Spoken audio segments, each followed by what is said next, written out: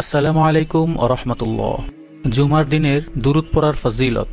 রাসুল সাল্লু আলাইসাল্লাম বলেছেন, প্রত্যেক জুমার দিনে তোমরা আমার উপর অধিক পরিমাণে দুরুদ পাঠ করো, কারণ আমার উম্মতের দুরুদ প্রতি জুমার দিনে আমার কাছে পেশ করা হয়। আর তাদের মধ্য থেকে যে ব্যক্তি আমার উপর সবচেয়ে বেশি দুরুদ পাঠ করে, সে অন্যদের তুলনায় আমার বেশি নিকটবর্তী। সুনানে বাইহাকি, তৃতীয় খণ্ড, দুইশো উনপঞ্চাশ নম্বর হাদিস। দুরুদ শরীফ اللهم صل على محمد وعلى آل محمد كما صليت على إبراهيم وعلى آل إبراهيم إنك حميد مجيد. اللهم بارك على محمد وعلى آل محمد كما باركت على إبراهيم وعلى آل إبراهيم ইন্নাকা হামিদুম মজিদ। হজরত আনাস রাদিল্লাহ তালাহু হতে বর্ণিত রসুল সাল্লু আলহিহুসাল্লাম বলেছেন, তোমরা জুমার রাত ও জুমার দিনে আমার উপর বেশি বেশি দূরত পাঠ করো। যে ব্যক্তি আমার উপর একবার দূরত পাঠ করে, আল্লাহ তালা তার উপর দশবার রহমত নাজিল করেন।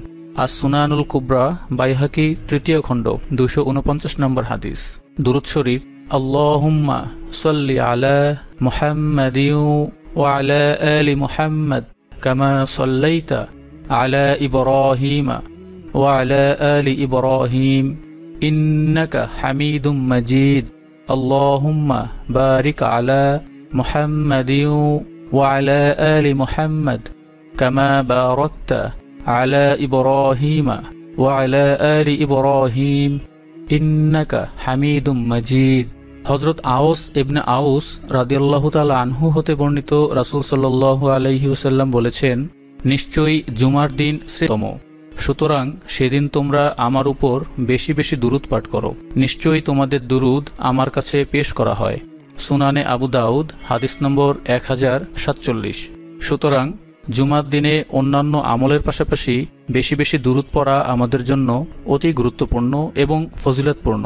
আল্লাহুম্মা صل على محمد وعلى آل محمد كما صليت على إبراهيم وعلى آل إبراهيم إنك حميد مجيد.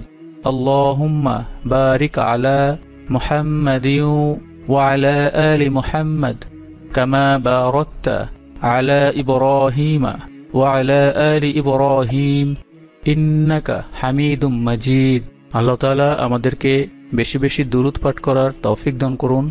আমিন। করুন। আমিন।